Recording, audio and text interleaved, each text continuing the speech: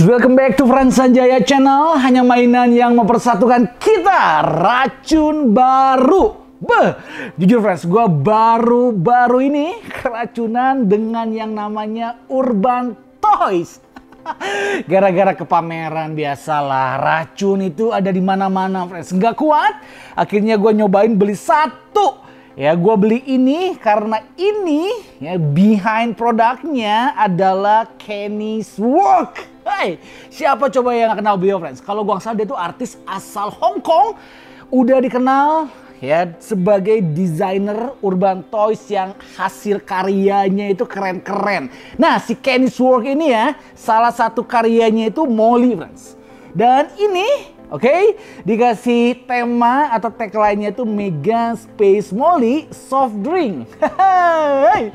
Memang kalau Urban Toys itu ya, dia tuh konsepnya selalu yang lucu-lucu, yang cute-cute, anti mainstream. Makanya biasa kolektornya juga ya nggak main-main. Kebanyakan artis setahu gua BTS pada ngoleksi juga. Yang menarik karena ini itu gacha, friends Ya, seperti yang kita tahu ada ediksi tersendiri dari sistem gacha.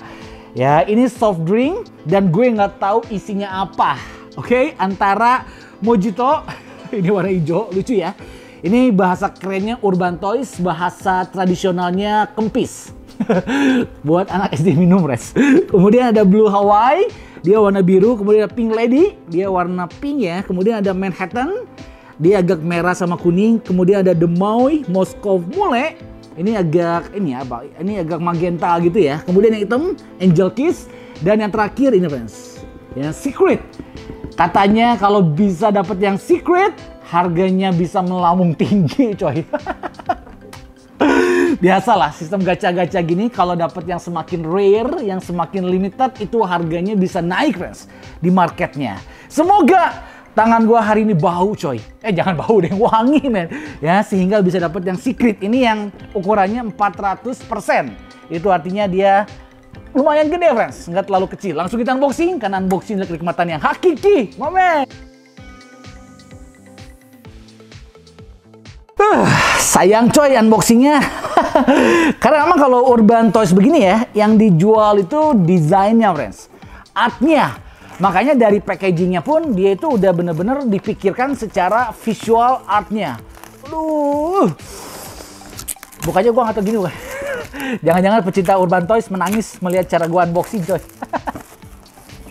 nah ini harganya kalau gua nggak salah ya tiga setengah jutaan fans.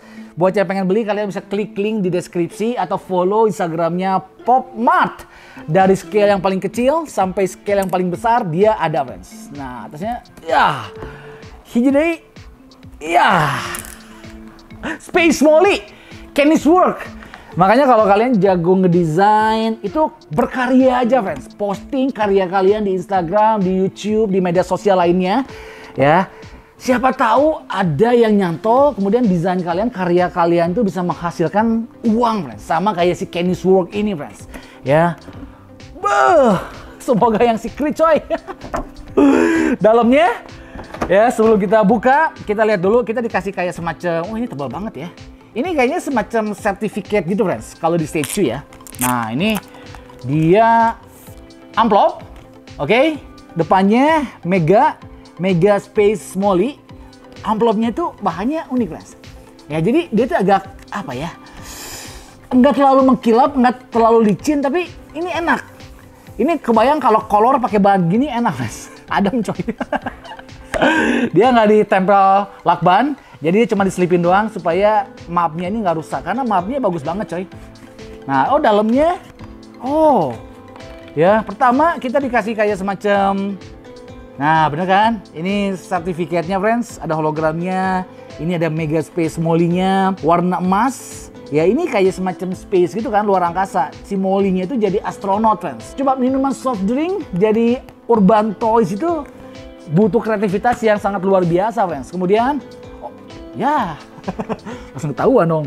Ini gue dapat mojito, friends. Nggak tahu ya, apakah cocok sesuai antara manual booknya sama dalamnya, friends. Ini mojito, Oke, ini ada keterangan-keterangannya. Ya, terakhir adalah wow. Lucu ya. Ya kan? Yang namanya Urban Toys, dia lebih mengedepankan artnya. Makanya dikasih perintilan-perintilan beginiannya pun juga art banget, friends. ini bahannya kayak apa ya? Ini kayak Mika, friends. Ya, ini makanya Mojito deh kayaknya deh ya. Kayak Mojito, friends, feeling gua nih. Kita buka. Nah, oke. Okay. Dia dalamnya seperti ini. Ternyata dia pakai blister, friends. Gue suka heran ya, kan karena bagi gue ya, bagi gue ya, kolektor statue, kolektor action figure, dalam otak gue mainan yang eksklusif, mainan yang prestis itu kalau dibungkus pakai styrofoam, res. Jadi kayak tebel gitu ya. Tapi ternyata Urban Toys memang kebanyakan dia packagingnya itu pakai blister-blister begini, friends. Sama kayak mainan-mainan PVC anime gitu, coy. Ya, nggak tahu kenapa deh. Kalau dibilang global warming sih, ya styrofoam global warming, tapi plastik begini juga global warming ya. Karena gue nggak suka kalau plastik begini tuh ya, lama-lama dia bisa menguning, fans. Dimakan usia. Nah, kita buka. Oke. Tiga setengah juta, coy. beginian doang. Iya, beginian doang, men. Kadang-kadang ya, Urban Toys itu pas kita unboxing, beginian doang. Iya, memang beginian doang. Karena sering kali mainan-mainan yang mahal, yang art gitu ya, dia tuh nggak banyak neko-neko, nggak banyak macam-macam, nggak banyak perintil-perintil, nggak friends. Mainannya cuman ini doang, ya. Udah, gini doang. Dalamnya ini dikasih silika gel, pop mat supaya kalau lama-lama dia nggak menguning, friends. Ya, ternyata tangan gua hari ini bau, kita dikasihnya dapatnya yang Mojito, coy. Nggak apa-apa, kita bakalan cek kualitinya kayak apa, friends, oke? Okay? Ini senjatanya, friends.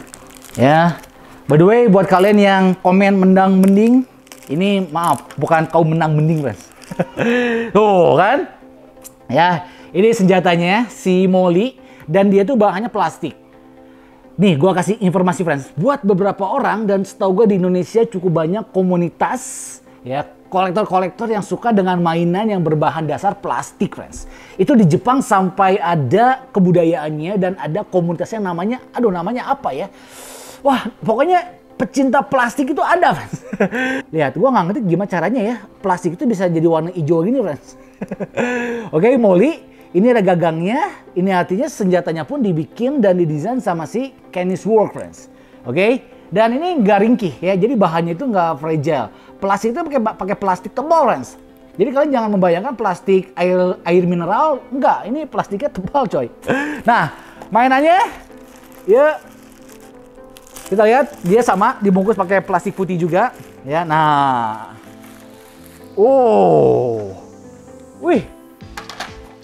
Ternyata ada yang gocak-gocak. Ini gue jadi agak kampung ya review Urban Toys, friend. Ternyata yang gocrak-gocrak itu es batunya dong. Tuh. ya, kalau kalian perhatikan, karena dia itu kan soft drink konsepnya. Jadi di roket antariksanya pun kalau kita perhatikan dia ada es batu, friends. Dua di sebelah kanan, dua di sebelah kiri. Gua nggak tahu ini bahannya apa es batunya, tapi mungkin bahannya plastik juga sih. Karena gua lihat ya semuanya dari kepala, tangan, kaki, badan, dia itu semuanya bahannya plastik, friends. Oh ternyata di badannya pun dia ada es batunya, coy. Tuh, ya, oh. Eh tapi ini kayaknya bukan plastik deh, karena kalau plastik bunyinya beda pasti. Iya, ini kayak apa ya? Kayak karet kali ya. Tuh. Keren ya. Ya kan? Jadi memang uh, diperlukan jiwa seni, jiwa art untuk bisa mengapresiasi ini mainan, guys. Ya, kalau jiwa seni kurang, pasti akan kurang appreciate. ya, dan gue lagi belajar untuk menjiwai seni gue, guys. Lihat, dimulai dengan kepalanya, ini si Molly, anti mainstream, tapi gue bisa simpulkan kayaknya ini perempuan deh, kayaknya ya, karena bulu matanya yang lentik. Oke, kemudian dia tuh pakai helm astronot. Ya, ini bisa dibuka. Uh, agak horor bunyinya ya. Ah, tapi memang nggak letoy, ya. Tuh, ini bisa dibuka sehingga muka si molinya kita bisa kelihatan, friends. Oke, ini helmnya di bahan plastik. Kalau mukanya, oh, mukanya ini bukan plastik, Rens, tapi lebih ke arah PVC kayaknya deh. Dan dia kopong, jadi bunyinya nyaring. Oh, ya. Catnya bagus, smooth banget, matanya dia ngelok ke dalam. Tuh, Oke, rapi banget. Dia tuh kayak pakai semacam blush on ya. Jadi pipinya agak merah dan bibirnya manyun. Cimoli, ya kan? Memang kalau art itu kita sampai keselokannya. Kalau itu kita nggak boleh terlalu mainstream gitu ya. Kita bikin cewek itu nggak boleh terlalu mainstream, beda. Jadi urban urban toys sama wibu itu beda, guys. Beda aliran.